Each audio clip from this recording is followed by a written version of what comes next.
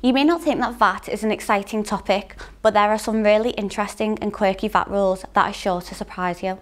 Number one, did you know that gingerbread men are actually classed differently according to the decorations that are on them? If it has just two chocolate spots for eyes, then no VAT is charged, but anything else, the VAT rules apply. Number two, bumblebees are taxable under VAT, but honeybees get away scot-free. Number three, chocolate shortbread has VAT on it, but if you add a layer of caramel, making it a millionaire's shortbread, it doesn't. Number four, how luxurious is caviar? Not enough to be subject to VAT. As a general rule, VAT is applied to luxury foods but not essentials, whilst petrol, poodle food, orange squash and ice cream are categorised as luxury. Incurring VAT charges, HMRC have decided that lap dances, caviar and Labrador food are not luxurious and have no VAT. Number five, when you buy a coffin, there is VAT on that. However, transporting that coffin through hiring a hearse has none. Number six, Spot the Ball.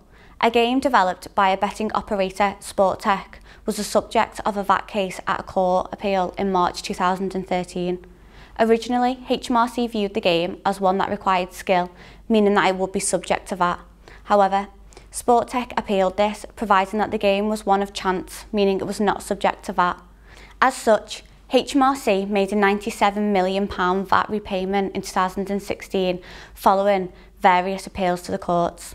Number 7. Children's car seats have reduced VAT rate of 5%, which seems strange charging any amount for the safety of your children. Number 8. Crisps also have funny rules. Potato chip snacks are subject to standard VAT charges. However, maize and corn-based snacks are exempt. This has led to high-profile court cases, such as with Pringles in 2008.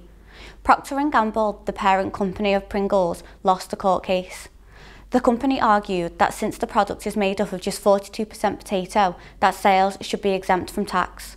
However, a High Court judge ruled that there is more than enough potato content, meaning that there was tens of millions of pounds in the VAT outstanding.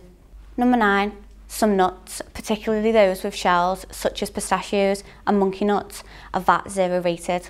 Strangely enough, deshelled nuts are all subject to standard VAT. Number 10. Hot takeaway food and drink is subject to standard VAT, whilst cold food and drink are zero rated. However, hot takeaway food can avoid tax if it is being left to cool down and doesn't need to be sold or consumed whilst it's hot. This includes, for example, bread and pies in bakeries. The famous pasty tax in case 2012 led to a five-part test to decide whether to charge VAT. So there you have it, 10 fun facts that show how complex VAT is. If you're not sure about any part of VAT, it's worth speaking to an expert.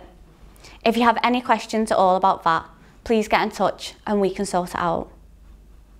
If you'd like to see more videos where we answer lots of questions on tax and accounts, take a look on our YouTube channel.